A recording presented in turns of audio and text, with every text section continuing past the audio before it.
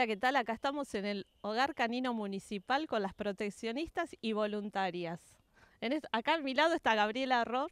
¿Cómo estás, Gabriela? Hola, ¿qué tal? Buenos días, Sabrina. Bien, muy bien. Funcionaria en la habilitación de comercio.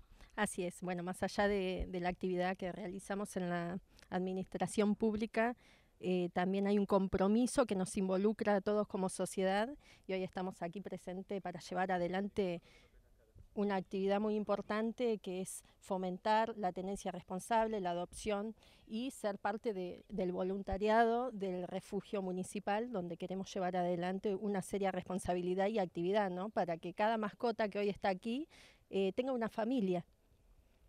Bueno, perfecto, Gabriela. Acá estamos con la directora de Sonosis. Perfecto. Hola. ¿Cómo estás, Bárbara? Bárbara Gaño. Todo bien, todo bien acá, acompañada con las chicas. Era Acá a mi lado, Celeste, de Agua para un Perro, y Tamara. Tamara, Tamara. Silva. Sí, voluntarias independientes de agua para un perro. Yo soy Celeste Cancelo, ella es Tamara Silva. Para dar una mano acá en el refugio canino municipal y bueno, estamos todas unidas por la misma causa, que son los animales y principalmente el bienestar de los perritos que tenemos acá. Y bueno, ya vamos a empezar a, a publicar las adopciones, así que ya vamos adelantando eso. Bueno, por acá tenemos Hola, a... Sandra Poggio, también de Grupo Polo Animal, proteccionista independiente, tratando de colaborar un poquito con los perritos del refugio para ver si podemos conseguirles familias responsables.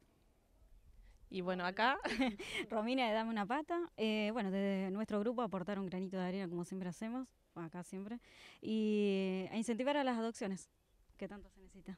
las chicas. Mariela de Grupo Polo Animal.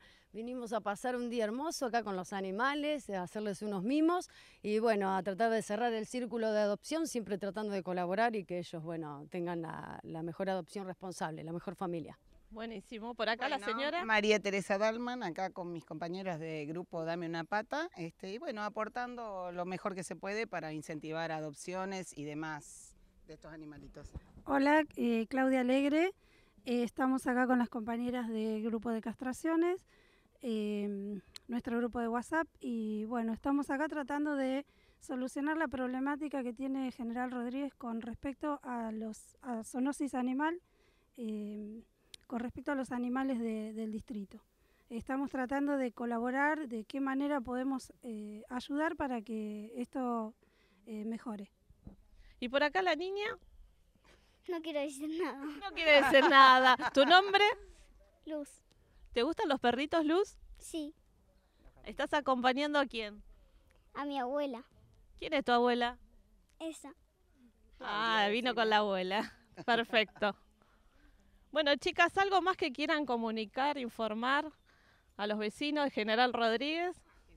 Bueno, queremos eh, invitarlos a que se unan a la adopción, que se sumen y que adopten, que, que adopten, porque hay muchos animalitos que necesitan, necesitan un hogar, entonces queremos sumar eh, a las personas que adopten a los perros. Chicas, ustedes Sí, estamos todos por la misma causa. Eh, lo que estamos adopción. queriendo es ver si podemos sacar los animalitos de aquí, que son muchos, no sé cuántos hay, Tamara. ¿Hay 70? 70 más o menos. Sí, más o menos, más menos. Este, y tenemos, sí, tenemos que dejar que este lugar sea un lugar de tránsito.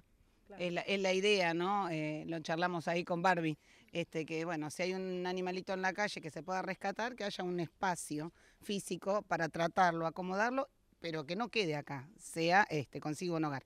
Esa es la idea, bueno, pero para eso necesitamos sacar los que hay acá.